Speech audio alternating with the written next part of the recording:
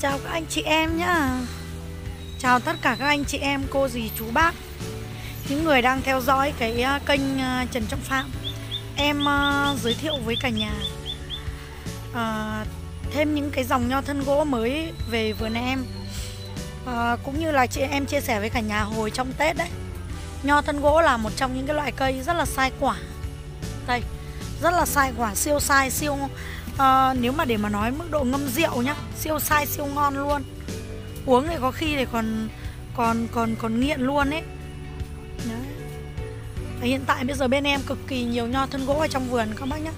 Cực kỳ nhiều nho thân gỗ ở trong vườn và sai thì nếu nói về mức độ sai thì em khẳng định với các bác là kinh khủng khiếp sai luôn. Chưa hết lớp quả này đã đến lớp quả kia rồi.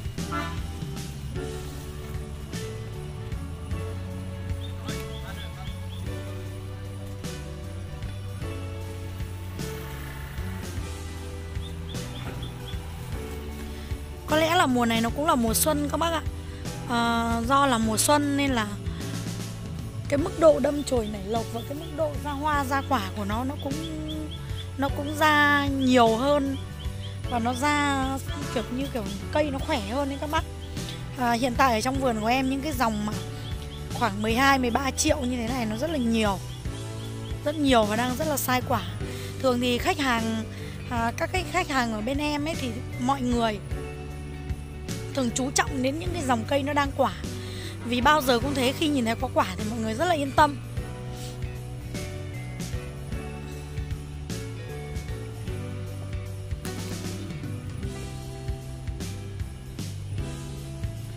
Đấy, quả nó to như vậy các bác ạ. Nho gỗ 12 vụ và nho gỗ 4 mùa nó chỉ khác nhau là màu thôi, màu sắc thôi. Nhưng mà nó cũng có những cái ưu nhược điểm các bác nhá. Nếu mà nho nếu mà nho 12 vụ ấy thì nó lại không sai quả như nho bốn mùa đâu.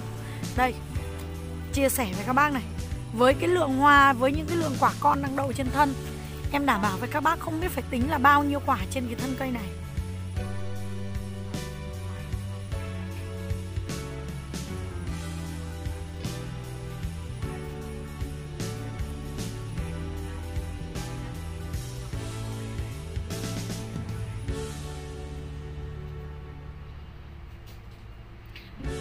Cái gốc em đang quay cho cả nhà đây là một cái loại gốc rất là to ở trong vườn.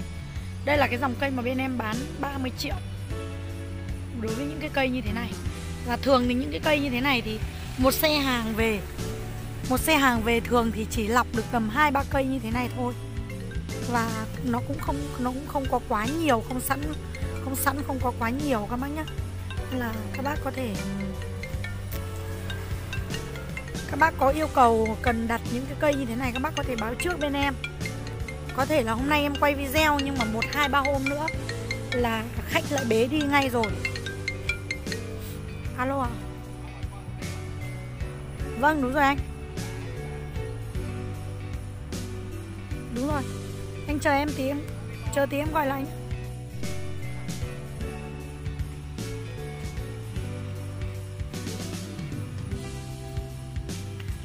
À, mùa này nó có mưa xuân rồi cả nhà.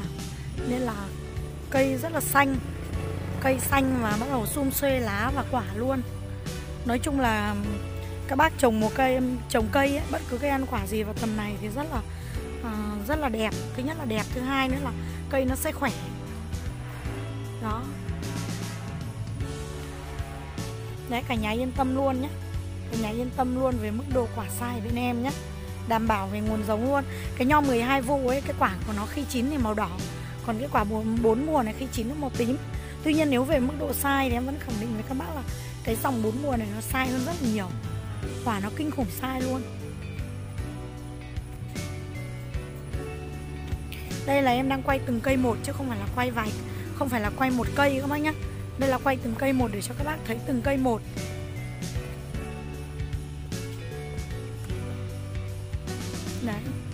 Rất sai. Này cực kỳ sai và nhiều quả.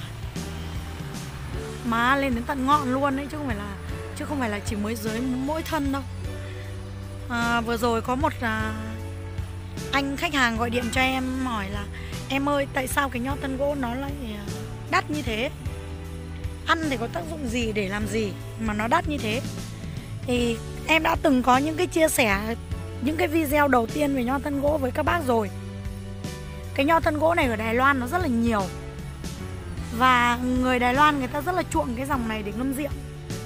Đó, ngâm rượu nó rất là tốt, uống nó rất là tốt cho sức khỏe, nó cũng giống như một vài những cái dòng nho của Việt Nam hay là những cái loại quả tốt cho sức khỏe ở Việt Nam mà khi chúng ta sử dụng ngâm rượu hay là sử dụng làm siro gì đấy để chúng ta uống, ngâm đường, để lấy một cái cái loại chất như là một cái loại siro để chúng ta uống, vừa giải nhiệt, vừa tốt cho đường máu, đường huyết, vừa tốt cho sức khỏe, xương khớp các bác nhé Ờ, đấy là lý do mà nó nó đắt chứ không ai bỏ tiền ra đi mua 10 15 triệu một cây nho thân gỗ này về để chờ bệ, lấy cái quả để thu quả này đem đi bán cả.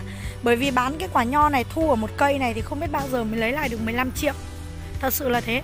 Đắt quá thì người ta không mua mà rẻ quá thì không bán được.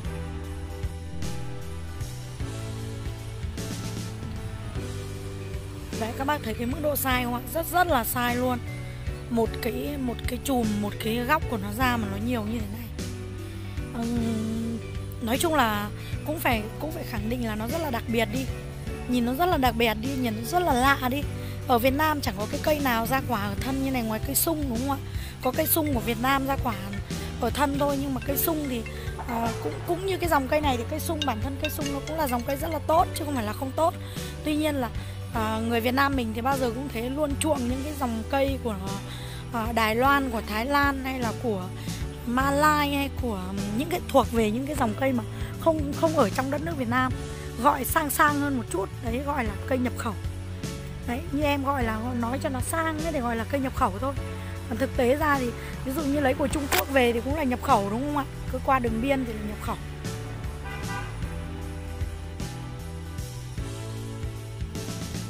Ờ, và ở đây em vẫn có những cái dòng cây giống các bác nhé. Ngoại trừ cây to cây choai ra em có dòng cây giống. Nó sẽ có tùy từng mức độ giá. Các bác cần mua cây thì các bác có thể liên hệ trên số điện thoại của em nhé. À, video em Yến ờ, ngày hôm nay xin được dừng ở đây. Nho thân gỗ mùa này rất là đẹp rất là mong các bác ủng hộ cho vườn em Yến nhé.